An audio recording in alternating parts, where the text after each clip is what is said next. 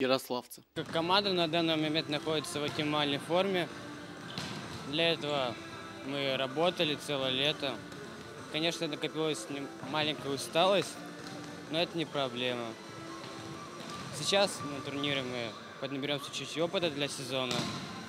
Думаю, в сезоне у нас все будет хорошо. Для волейболистов предсезонка в самом разгаре. Все работают на совесть, ведь у каждого стоит цель попасть в главную команду области. Мы сделали такой интересный э, проект, как э, сегодня будут команды миксы. То есть будут участвовать э, две девушки, два молодых человека и два ветерана волейбольного клуба «Нефтяник», либо два действующих э, игрока команды «Ярославич». То есть, я думаю, будет это интересно, это популяризация этого вида.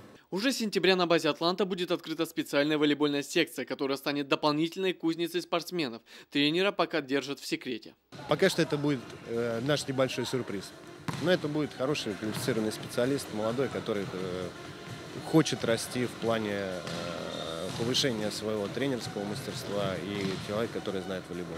С увеличением воспитанников острее встает вопрос о новой базе волейбольного клуба «Ярославич». Вопрос о строительстве волейбольного центра также очень актуален. И я думаю, что нам с будущего года нужно обязательно его начинать строить. А продвигается как этот вопрос? Да, мы этот вопрос ставим. Везде на всех уровнях нас поддерживает и Федерация волейбола России, и вроде как министр спорта поддерживает, но нужно двигаться еще дальше, вперед выходить на правительство. Организаторы обещают, волейбольный фестиваль будет жить. В следующем году список участников расширится. Захар Акопов, Елена Масалова. День в событиях.